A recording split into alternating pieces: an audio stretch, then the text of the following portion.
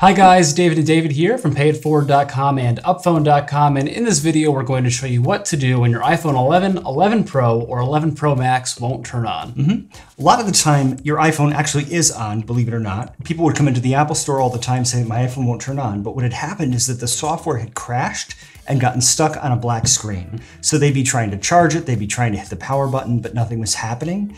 It was already on, it was just crashed. So the way to fix a software crash is to do a hard reset. Yep, so on an iPhone 11, 11 Pro, or 11 Pro Max, volume up, volume down, press and hold the side until the Apple logo appears. Mm-hmm. You might have to hold the side button, especially if your iPhone has a software problem for 10, 15, 20, 30 seconds. Mm-hmm. People would come into the Apple store all the time and they thought they had tried this, but then they just hadn't held the buttons down for long enough. So save yourself a trip to the Apple store. Make sure you hold that button down. David's iPhone is healthy, so it came on quickly. Yep.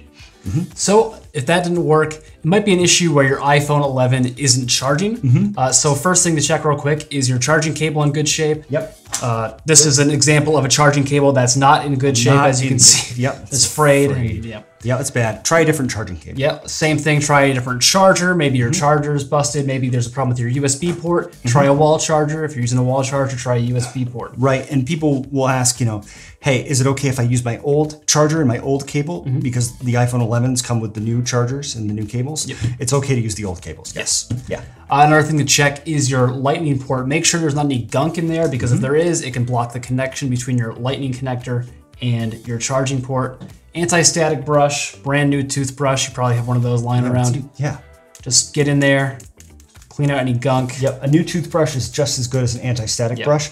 Don't use anything that's metal or is going to break off in there like a toothpick. Like a toothpick. Yep. Mm-hmm, yep. Metal things can damage. Yep. Mm-hmm. So if your iPhone still won't turn on, try connecting it to iTunes and see if it shows up. Mm-hmm. Because if it does show up in iTunes, um, there could just be a problem with your display where it's black and it just it won't work. Yep. Same deal if it's making sounds, Mm-hmm. but it, you know, if the screen is just black, it could be a display problem. Yeah. Especially if you just dropped it. Yeah, in which case you'd want to get it repaired.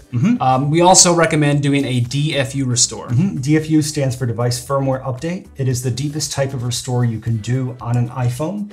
And when you address the firmware problems, you end up fixing a lot of little hardware glitches too. So a DFU restore is pretty easy to do, but we have a separate video that shows you how to do that. Yeah, link in the card above and the description section below. Mm-hmm. If you did the DFU restore and it still won't turn on, or if you connected to the iTunes and the screen is black, Yeah. uh, you're gonna need to get it repaired. Mm-hmm. Apple Store is a great option, especially if your iPhone is under warranty. Mm-hmm. If it's not under warranty, you might want to check out a third-party repair service. We can recommend a few Yeah, we'll recommend a few of those in the description section below. So that is what to do when your iPhone 11, 11 Pro, or 11 Pro Max won't turn on. Give this video a thumbs up if you've enjoyed. Leave us a comment down below with any other questions, and don't forget to subscribe to this channel for more great iPhone videos.